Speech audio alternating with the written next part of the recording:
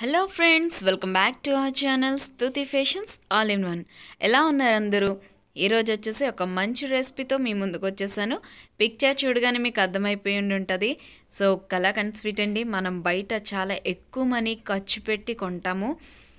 So ఆ sweet కూడా చాలా కాస్ట్లీ స్వీట్ సో మరి అది ఇంట్లోనే ఎలా చేసుకోవచ్చు? ఫెస్టివల్స్ అప్పుడు బయట కొనక్కర్లేకుండా ఇంట్లో చేసుకుంటే ఇంకా హ్యాపీగా తినొచ్చు కదండి. సో ఆ రెసిపీ ఎలా చేసేయాలో మీతో షేర్ చేసుకోబోతున్నాను. వీడియోలోకి వెళ్ళిపోదాం.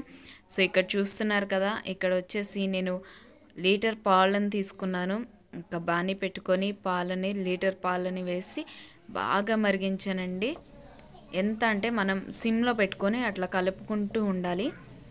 సో పాలని విరగ్గొట్టలేదు. పాలు విరిగి చేసేది ఉంటుంది. అదేవిధంగా పాలను మరిగించి చేసేది ఉంటుంది. సో ఇక్కడ పాలను మరిగించి చేయడం వల్ల మనకి టేస్ట్ అనేది సేమ్ బయట మనం కొనే స్వీట్స్ టేస్ట్ ఎలా ఉంటుందో సేమ్ అట్లానే ఉంటుంది. తేడా అయితే అస్సలు ఉండదు. ఇంకా మంచి టేస్ట్ ఉంటుంది. ఇంకా నోట్లో పెట్టుకోగానే కరిగిపోయేలా ఉంటుంది. అంత మెత్తగా స్మూత్గా వస్తుంది స్వీట్ అయితే.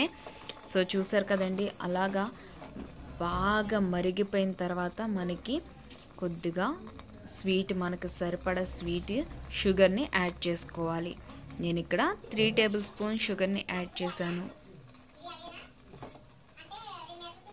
సో చూస్తున్నారు కదండి అట్లా మరిగిన తర్వాత ఒక ప్లేట్కి ఆయిల్ రాసి ప్లేట్లోకి ఆ మిశ్రమాన్ని తీసుకోవాలి.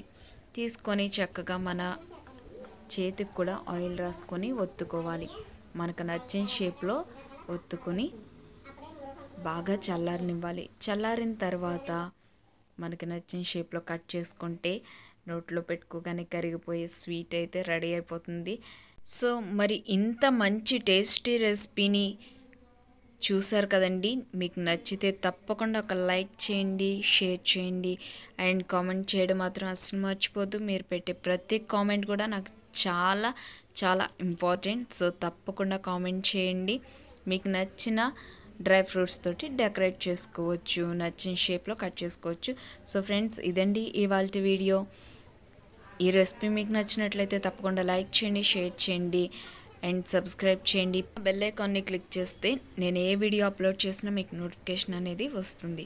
సో మరి మీకు ఇంకా మంచి మంచి రెసిపీస్ కావాలంటే కామెంట్ సెక్షన్లో తెలియచేయండి. నేను తప్పకుండా ట్రై చేసి మీకు వీడియోస్ అనేది అప్లోడ్ చేస్తాను. Thank you for watching.